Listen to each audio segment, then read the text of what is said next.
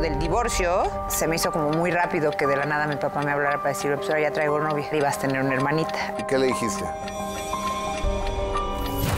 El minuto que cambió mi destino. Este sábado, 9 pm, en Imagen Televisión.